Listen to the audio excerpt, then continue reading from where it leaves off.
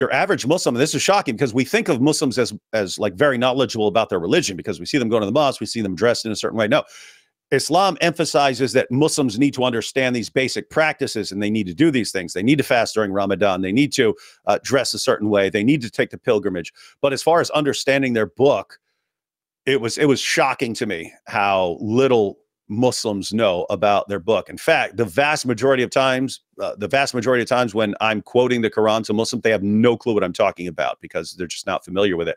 Um, and that's uh, that's kind of sad because you're trying to expose Muhammad by quoting these passages and they don't know what you're talking about.